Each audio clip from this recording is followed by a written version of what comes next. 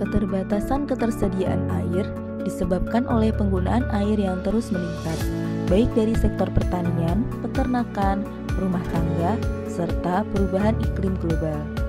Dua permasalahan utama yang sering terjadi terkait dengan pengelolaan sumber daya air adalah di musim kemarau, sumur-sumur gali penduduk mengalami kekeringan, sehingga untuk memenuhi kebutuhan air bersih sehari-hari, penduduk perumahan mesti mendatangkan dari luar perumahan.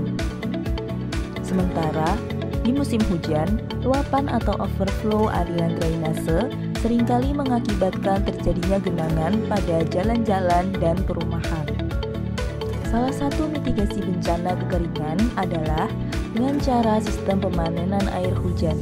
Pemanenan air hujan atau PAH merupakan metode atau teknologi yang digunakan untuk mengumpulkan air hujan yang berasal dari atap bangunan, permukaan tanah, jalan, atau perbukitan batu, dan dimanfaatkan sebagai salah satu sumber suplai air bersih.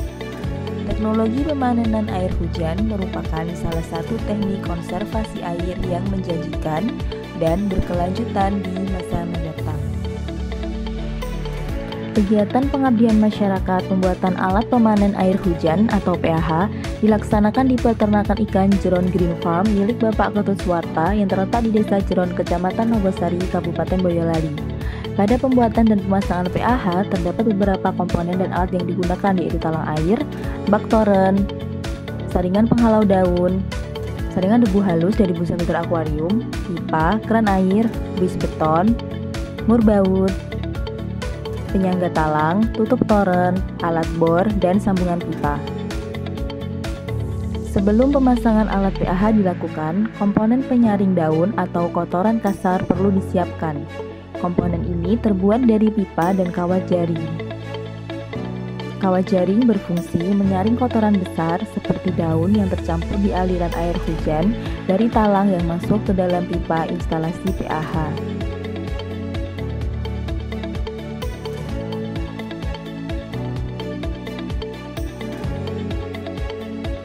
Proses pemasangan alat PAH diawali dengan pemasangan penyangga talang air.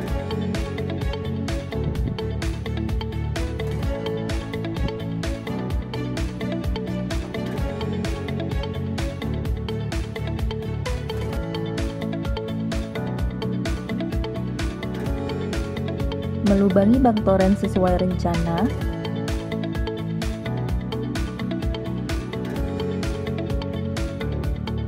memotong busa filter untuk saringan halus. Saringan halus berfungsi untuk menyaring kotoran-kotoran halus seperti debu.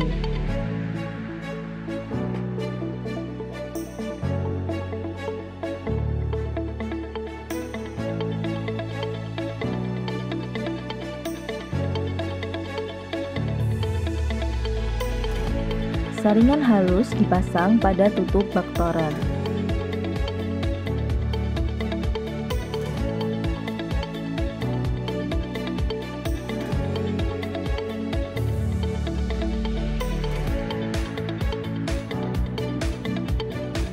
Selanjutnya, menyusun buis beton yang berfungsi sebagai dasar bak toren.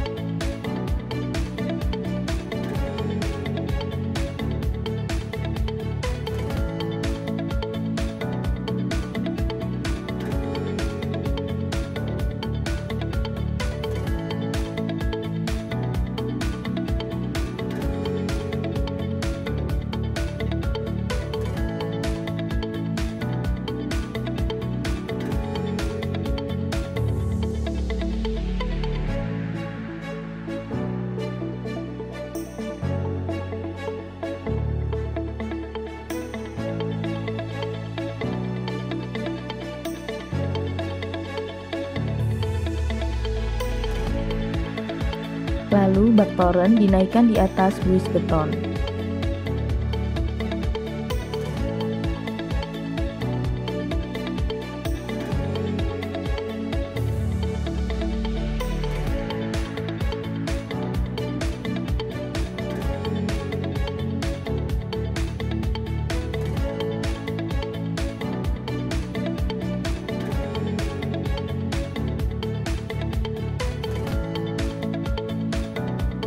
Tahap terakhir yaitu pemasangan instalasi pipa.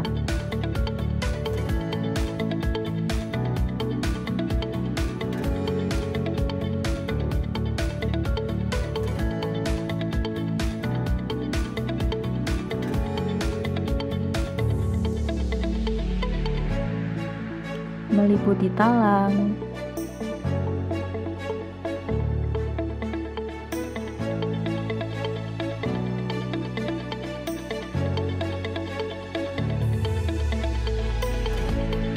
komponen saringan kasar,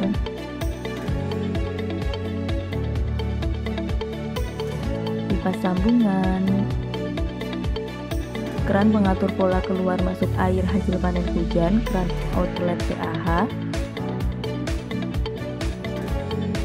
dan saluran drainase yang akan menyalurkan kelebihan air dari toren menuju sumur resapan. Kegiatan pengabdian masyarakat ini diharapkan dapat menjadi percontohan bagi masyarakat mengenai konservasi air, dengan cara menampung dan memanfaatkan air hujan semaksimal mungkin untuk pemenuhan kebutuhan air sehari-hari.